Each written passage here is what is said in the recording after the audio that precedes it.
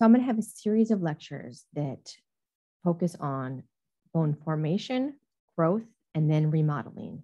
These are three different processes, but some of them are related.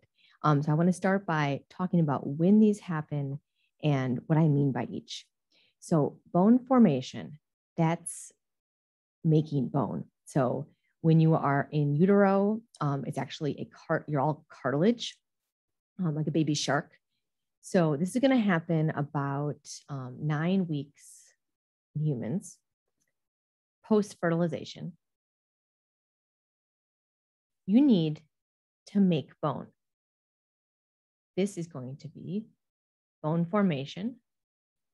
Another way this is talked about under the term is ossification, making of bone tissue. There are two different mechanisms we'll talk about. Once your little baby tiny skeleton, you are going to get bigger still, right? Um, you get bigger after nine weeks in utero, a lot bigger.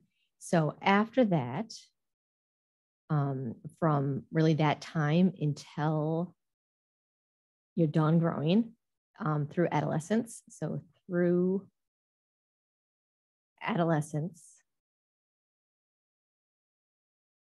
don't always want to admit it, but I'm done growing, taller at least. Um, this is the time you still have bone growth. For bones to grow, they need to be able to grow longer and wider. Right? Cool. I'll just put here um, two mechanisms. Now you are a full grown human, but your bones aren't done yet. Um, in addition to healing that can occur, so bones can heal if they're fractured or injured, there's also through adulthood remodeling. So fracture repair would be a type of remodeling um, kind of through adulthood. Bone remodeling. This means your bones can be altered based on their use.